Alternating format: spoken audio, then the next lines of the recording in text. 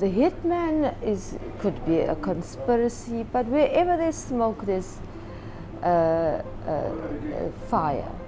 We believe that this was not a normal robbery.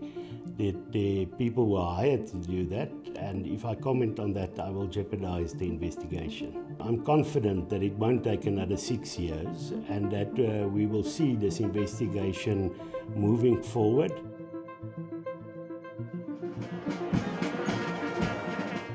They will always go to Senzo, and they spoke to Senzo and presented their problems.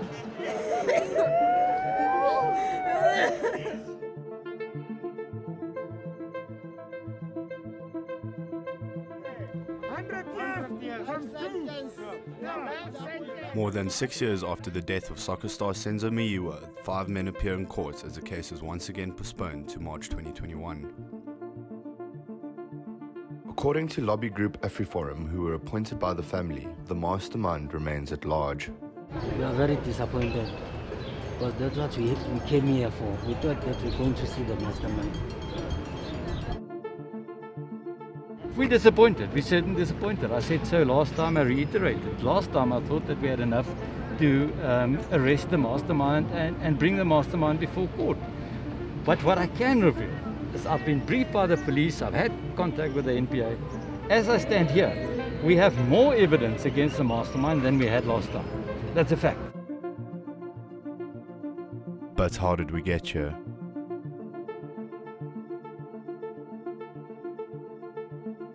According to witness testimony, Meyiwa was gunned down during a scuffle after five men broke into his girlfriend, Kelly Khumalo's Vosloorus home. But the person who got him into that vehicle to save his life was Kelly Khumalo. That is the reality. Those are the facts. Police recovered bullet fragments, a beanie, a glove, and a dreadlock ripped off in an apparent struggle. A 250,000 Rand reward is announced by then Police Commissioner Riah Phiyega for any information. The case then appeared to have its first breakthrough.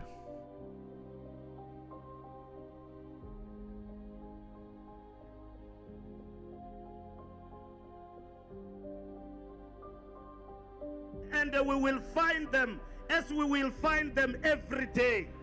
We will never rest up until we find all of them.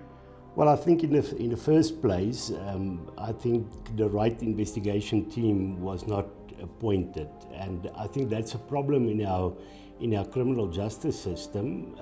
There is no sufficient evidential material to put Mr. Mbatha to trial.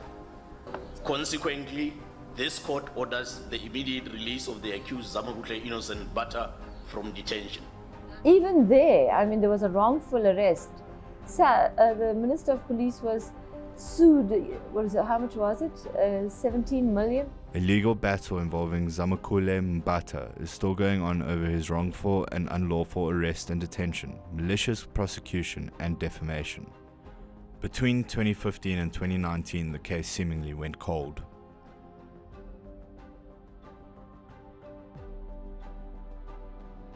Police ministers change and renewed promises are made. In an interview on ENCA's Crime Watch on January 9, 2019, Police Minister Bheki Cele promised swift progress.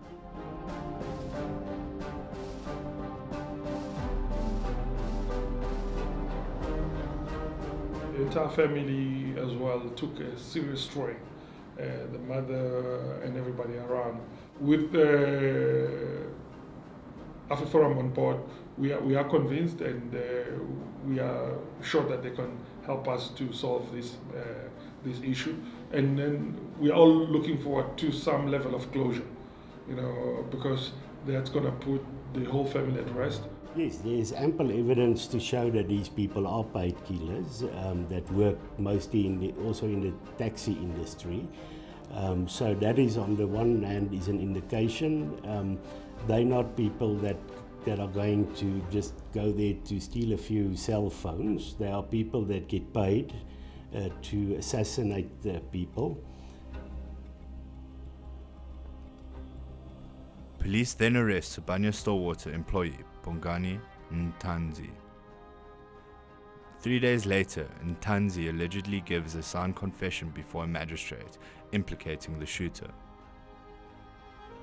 The lead shooter, serving a 30 year sentence for a 2015 taxi related murder, gives police a signed confession from his Johannesburg prison cell.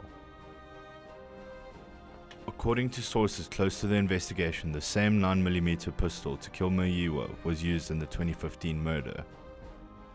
Well, I think it certainly raises question marks because the forensic evidence shows it was indeed a 9mm pistol that was used and not a revolver.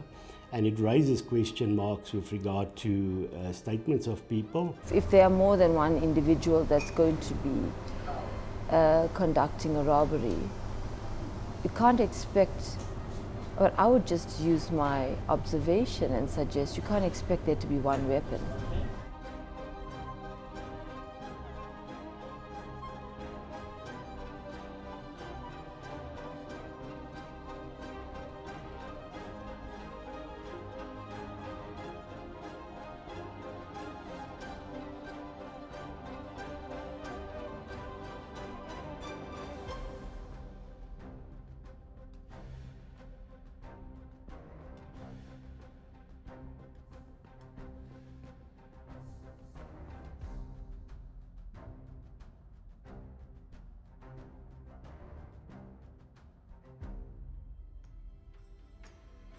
A leaked document which the NPA says was an innocent mishap claims there are links between Kelly Khumalo and one of the accused.